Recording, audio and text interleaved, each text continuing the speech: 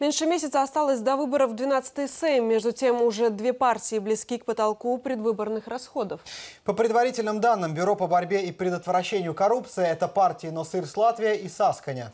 422 997 евро – это максимальный размер расходов на предвыборную рекламу, которые могут потратить политические партии с июня по октябрь.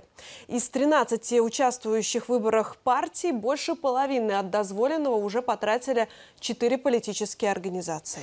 85% от суммы или 360 тысяч евро уже израсходовала партия Ингуны Судрыбы «Носырс Латвия». 78% или 330 тысяч евро потратила партия Сасканя. Бронза у единства – 69% и 291 тысяча евро. И, наконец, Союз зеленых и крестьян уже потратил 245 тысяч евро или же 58% от дозволенной суммы.